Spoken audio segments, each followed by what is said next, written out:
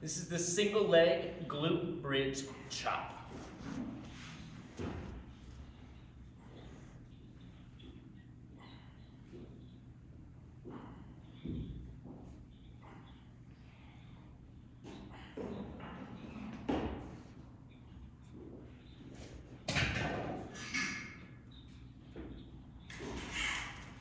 All right, so this exercise is looking to feel a lot in the back of our leg, glutes, hamstrings, and it'll work in our core and our shoulders.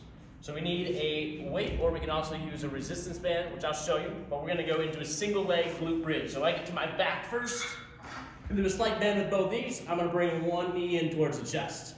I like to go on my heel to start with, gives me something to push into. Also helps to activate that backside a little bit. Foot flat is also fine. Once I'm there, I'm gonna get my weight set. I'm gonna bridge my hips. So I'm gonna push from my belt buckle, squeeze the back of my leg. Then I'm gonna grab one hand on either side of my dumbbell. The leg that's down on the floor, I'm gonna start with the weight at that hip pocket. Kind of thumbs up towards the ceiling. I'm gonna diagonal across my body, up and over my head and shoulder, and chop back down to my hip. So my goal here is to have my backside, glutes, hamstrings, keep me up, brace with my core to connect my upper and lower body, and do my best with the weight. Don't let it pull me or twist me out of that position. So the tendency as the arms get back behind the head or over the head is to have the ribs kind of push out or the belly button out.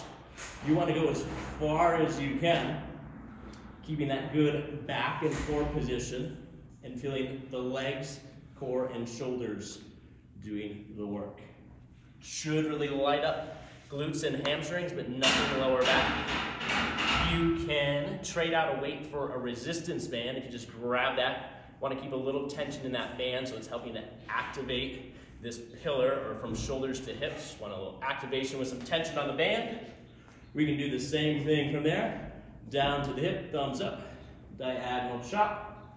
Trying to keep the same amount of tension in that mini band at all times to help activate our whole body here. All right, so that's a single leg glute bridge chop.